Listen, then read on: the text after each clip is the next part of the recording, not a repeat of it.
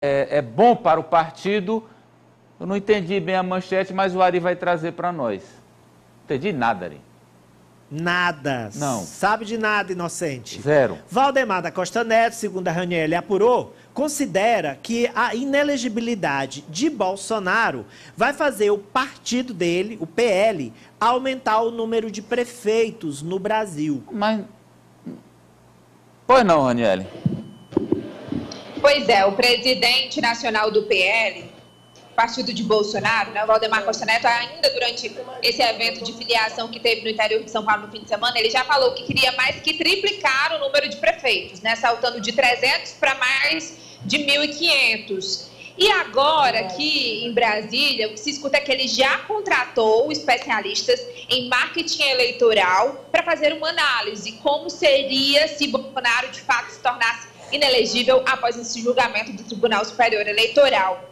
E nas contas de Valdemar é positivo, que ele poderia aumentar em 20% o número dos eleitos, porque Bolsonaro seria considerado vítima. É Vamos... o mesmo discurso que os aliados do ex-presidente também falam, inclusive o senador Ciro Nogueira. Vou ter Vamos uma cartela. trecho. Tem uma cartela é. aí com, a, com, com, a, com, o pensamento dele, Ari. Agora, agora o João e o Ananias vão me explicar mesmo, ó. Porque ele, ele fala aí, olha só. O PL poderá eleger um número 20% maior de candidatos, além do planejado, caso Bolsonaro seja considerado inelegível. Ah. Essa projeção não seria possível se o ex-presidente ainda estivesse plenamente elegível. Temos hoje 339 prefeituras e podemos chegar a 1.500 nas eleições de 2024. Valdemar Costa Neto, presidente do PL. Vamos, vamos lá. Começa com você, Ari, que deu aquela explicação da vitimização. Vamos lá.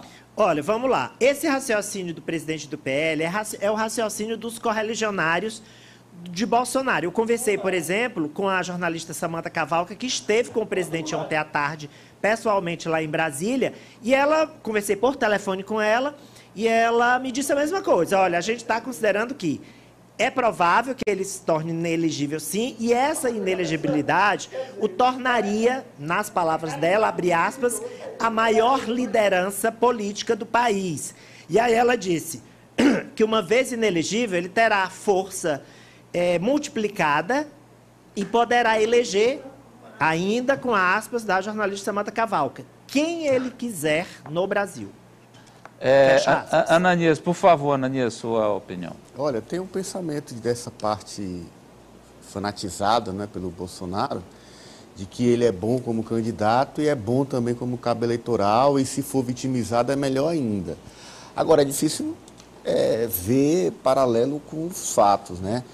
Sair do jogo e sair é, imputado a ele uma série de irregularidades quando é presidente da República, e esse caso dos embaixadores é um caso extremamente grave, vai acirrar o julgamento do eleitor sem nenhuma dúvida de que foi um presidente que, no exercício das suas funções, cometeu desvios que chegaram a torná-lo inelegível. Então, ele vai continuar como cabo eleitoral é, da extrema-direita, no entanto, não tenha dúvida que, se pudesse, iam preferir tê-lo como candidato, sim. Pois não, João? O que eu percebo mais uma vez é que o pessoal terminou a eleição, está é, tá numa fase de julgamento da maioria dessas, dessas condutas da eleição e as pessoas continuam. É, o Ananias foi bem generoso, que ele chamou fanatismo, e eu, para mim, é lunatismo mesmo. São os lunáticos que vivem no mundo irreal, no mundo paralelo, achando que todo mundo é idiota que todo mundo é imbecil de achar que uma tese dessa vai para algum lugar.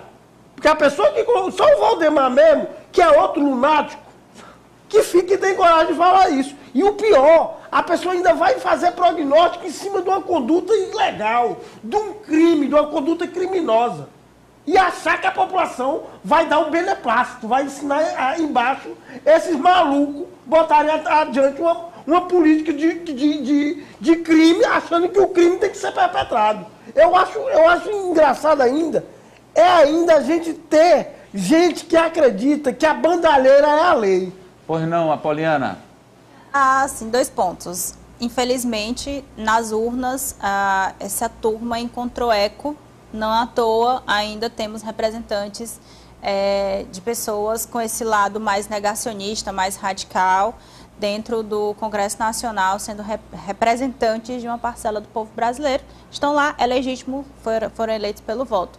Acho que o Valdemar só conseguiu mesmo se superar depois daquela frase de tem minuta na casa de todo mundo. Ele agora mostra que é hater do Bolsonaro, porque a pessoa que diz que o Bolsonaro inelegível serve mais do que elegível, então, para mim, está mostrando que é hater mesmo.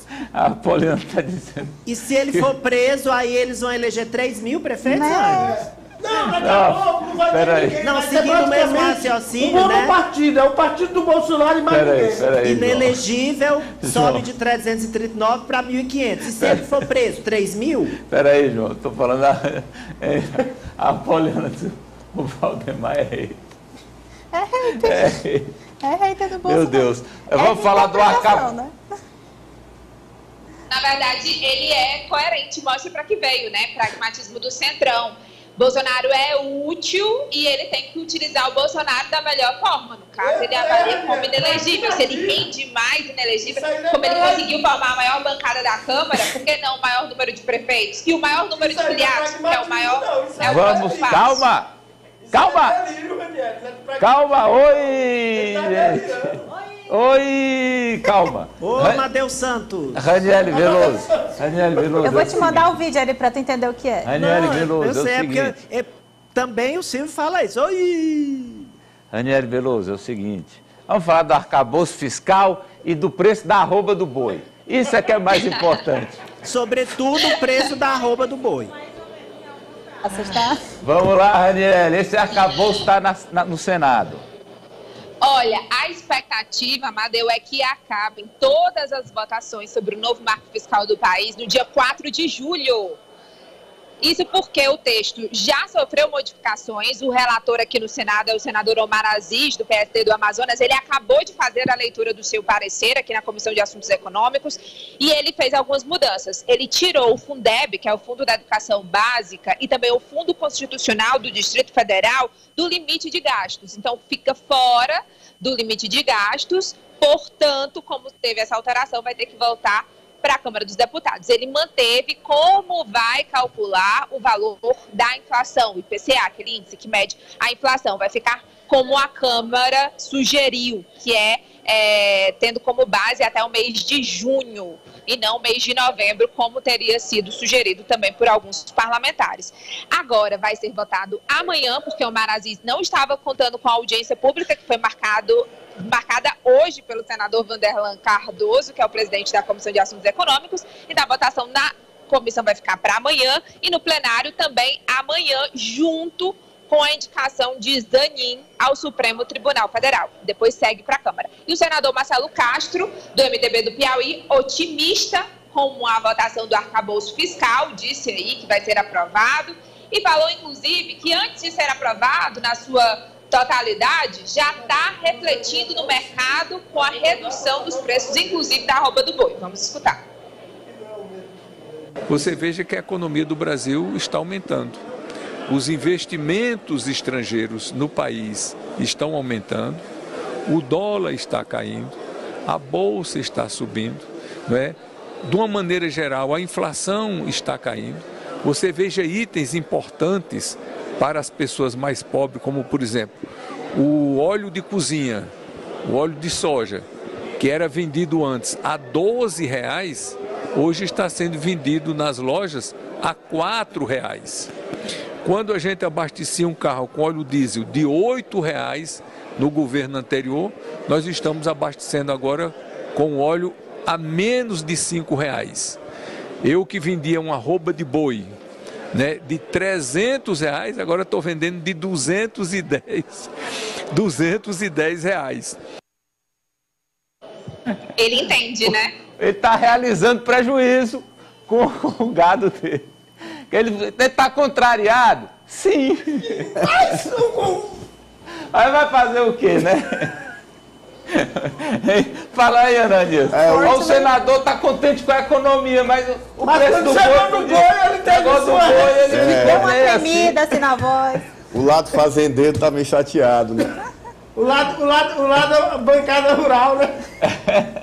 então, Ari, fala aí, Ari. Rural, Ari, não, um menino. Não, não. O, o ex-deputado Roncalli Costa Paulo me disse que a arroba do Carneiro continua com preço estável, que importa para ele. A arroba do Carneiro. Mas isso aí é boi. Pois é, mas é, não, Amadeu, ele vende mais, compensa porque um preço menor ele vende mais, ah. a classe média consome mais e aí compensa aí a queda. Rapaz, esse, é, esse, esse cara é um economista. Você né? tem os custos tudinho, rapaz. economia de escala. Fa, fa fala, pô.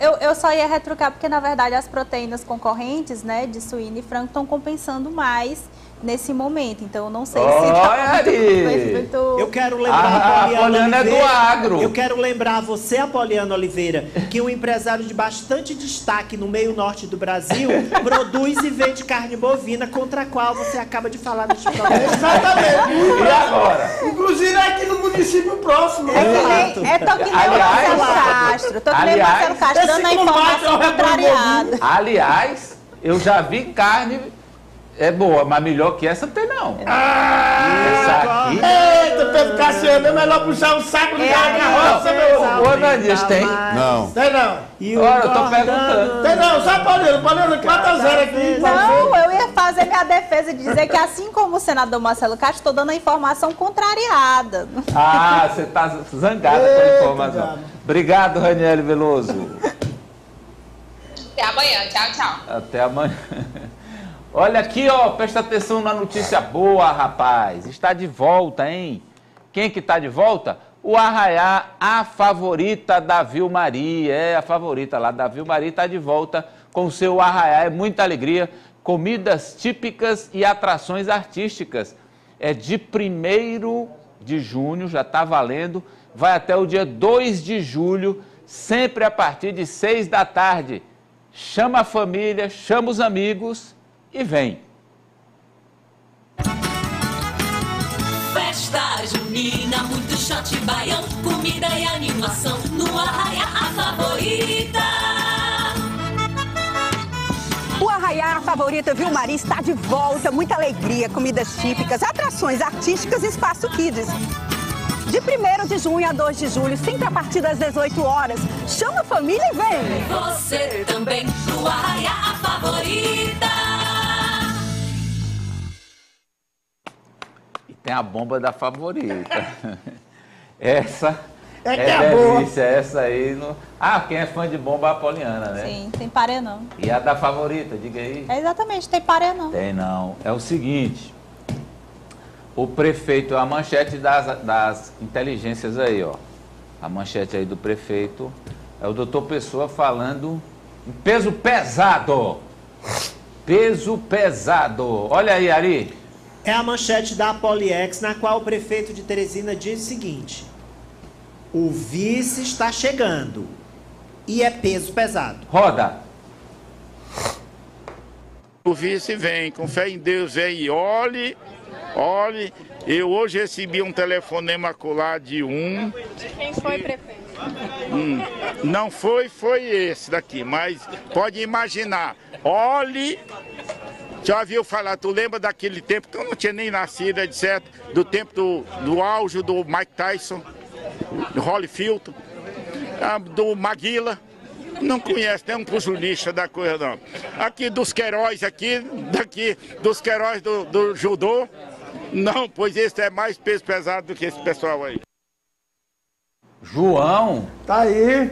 Ele até relembrou aí dos pesos. Eu, eu acho Aquele que esse... Mike Tyson era violência. Era ele, mas Peso ele, pesadíssimo. Ele jogou, ele jogou bem e botou mais uma vez os nossos Queiroz aí em, em, cima, né? E disse que ainda era mais pesado do que o Maguila, o pessoal dos Queiroz. Realmente são, é. né? Então, ah, mas eu, eu, eu, tô, eu, tô, eu recebi informação de que deve ser um evangélico. É, o vice? O vice pode ser um evangélico, inclusive consolidando a a esse apoio aí que o prefeito vem recebido hoje dessa de, de parte da, dos evangélicos e em especial quem quem quem dos quem quem? não aí pode ser que mas passa aí passa muito aí pelos republicanos você é uma chapa pura? Pode ser.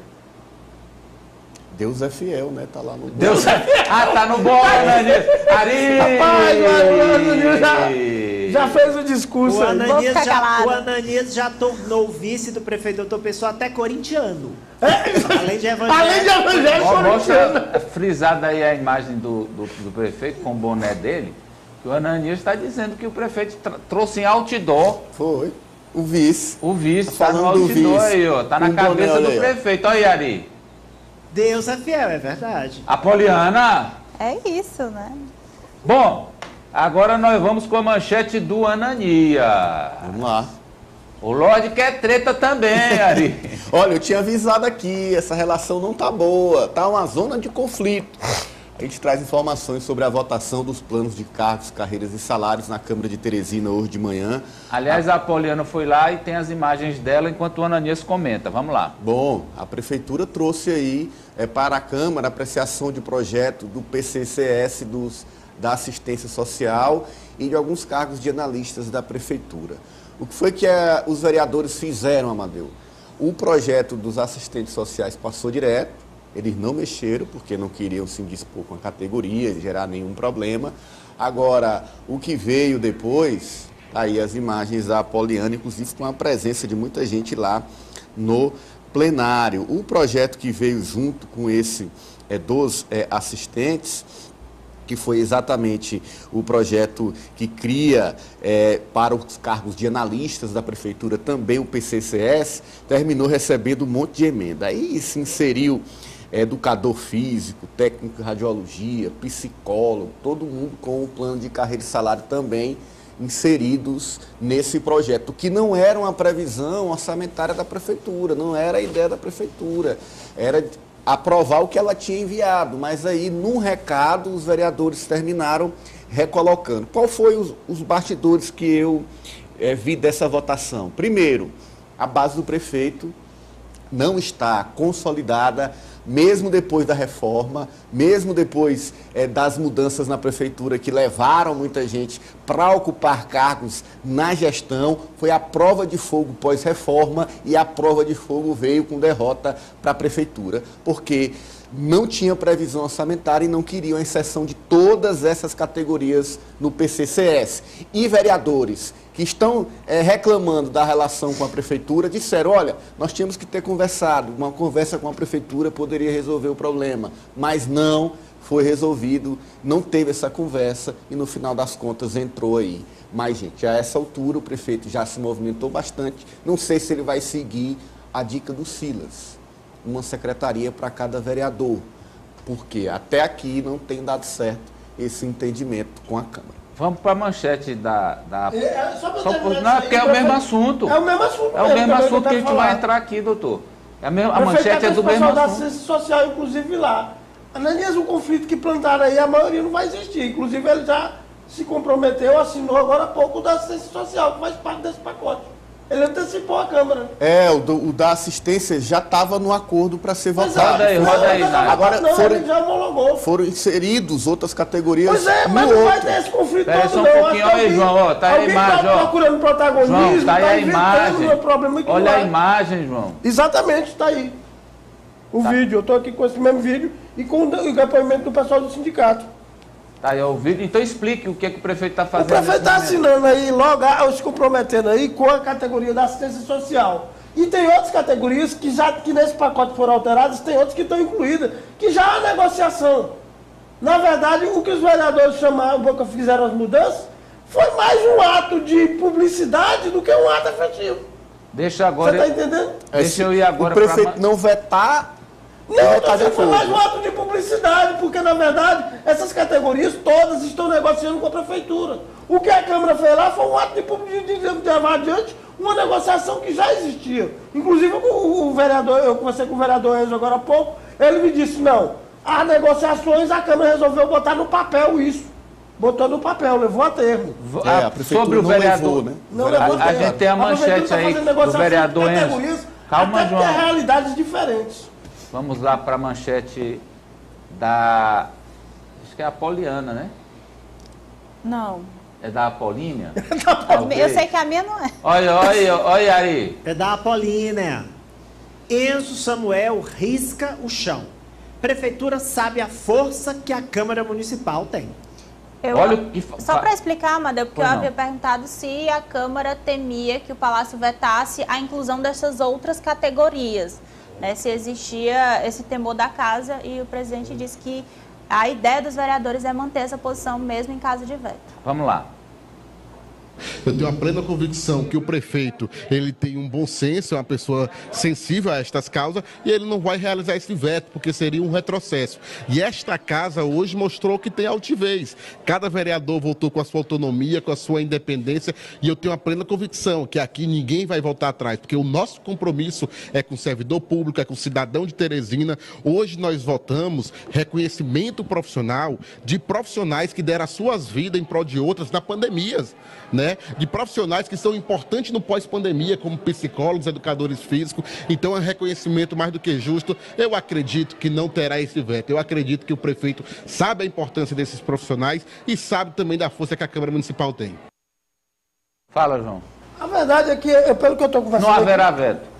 Eu acho que não, até porque eu estava conversando, eu estou conversando aqui com a equipe do prefeito, estava conversando aqui com, com alguns auxiliares dele. O impacto é pequeno. Na verdade, está querendo se estabelecer uma briga para se aparecer politicamente, sinceramente. Ah, quero- então, se querem dizer, o- eu não vi em momento algum.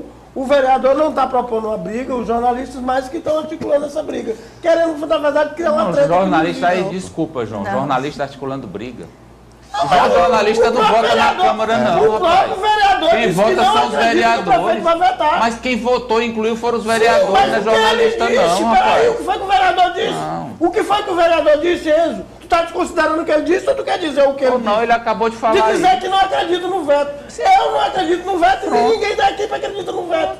Agora, só é bom a gente deixar claro que existe, a gente que cobre política, né, Ari Ananias, é, a gente sabe que existe uma coisa que o político diz no on, ele diz ali na entrevista, mas existe o que a gente escuta nos bastidores. Ah, então diga o que foi e que essa votação E essa votação nos bastidores, ela foi bastante tensa lá no plenário. Inclusive, todas as falas de membros da base do prefeito, qualquer esboço ali de tentativa de não aprovar esse texto, recebeu vaia, recebeu protesto de quem estava lá presente. Então, esse custo, os vereadores não querem, independente de ser Claro, da base um ou não do prefeito doutor Pessoa. Então, é, de- quando se trata de votar propostas que envolvem reajuste salarial de categorias, eu não vejo que a Câmara vá contra. E aí eles vão passar o anel, passar a bola para a Prefeitura de Teresina e é a, discus- a disputa é narrativa. É quem é que vai sair como vilão? É a Câmara que não aprovou ou a Prefeitura que vai vetar? Acho que o, A disputa, o, Poliana, é, é demagogia. é exatamente esse. É demagogia. Muita gente aproveita a oportunidade para fazer, para sair de bem com o servidor, sem levar em conta a capacidade de endividamento do município. É um, é, muitas vezes é uma responsabilidade. Nesse caso, eu não vejo como responsabilidade pelo seguinte fato. É tão o, o número de servidores que vão ser apanhados por essa medida, ele é praticamente insignificante. Deixa eu- Com relação. Só deixa eu terminar, Manuel, só um pouquinho.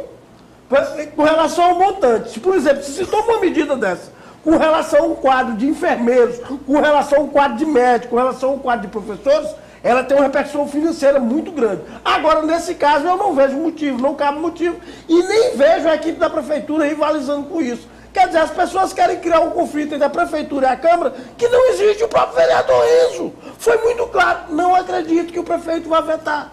Agora Ah, você está me dizendo que no bastidor ele falou outra coisa? Não, só, só para trazer a informação, tinha uma orientação da liderança do prefeito, da vice-liderança do prefeito, que é a vereadora Graça Morim, para a não aceitação das emendas, para não colocar o PCCS também é dos radiologistas, dos educadores físicos, nesse, psicólogos, nesse projeto.